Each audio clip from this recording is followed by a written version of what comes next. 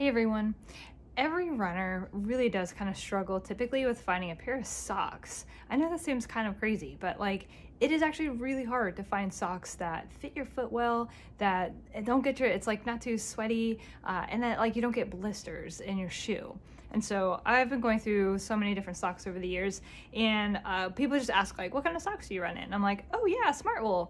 And so I figured I'd do a video about it just because it's something that works well for me. So these socks are they're a little beat up because I do I do run in them. Um, so what I like about a sock and, and the material of the sock is that if you go with a Smartwool, it doesn't hold the moisture that as your foot sweats like a cotton sock will.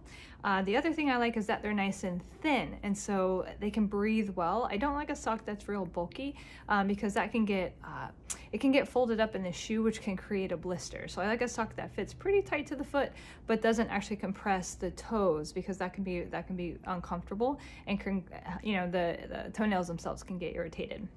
So the other thing I like about when I'm looking for a sock is I do like that the ankle comes up in the front and up in the back just to protect you from where your shoe uh, can hit like the tongue of your shoe can hit the front of your ankle or the back of your shoe can hit the back of your ankle. So you do want that to be a little bit thicker just so it can protect you. Um, and the other thing is you know having some sort of a little bit of compression around the arch is good just because your foot does kind of come up into the arch area so you want the sock to follow you. Again just because if the sock isn't following the the shape of your foot it's just more areas where blisters could form.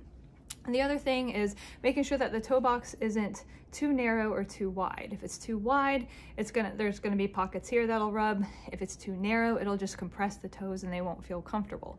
And then the last piece is that the, it is a little bit thicker here at the toe. And so that thickness creates a little bit of a, a, a barrier just because that is something that can rub and you just get holes there. So they last a little longer. Um, so anyway, that's what I like about this sock. It's called a Smartwool sock. There's other ones that are, are very much like this. This is just the one that works for me. So I hope this is helpful. All right, enjoy running.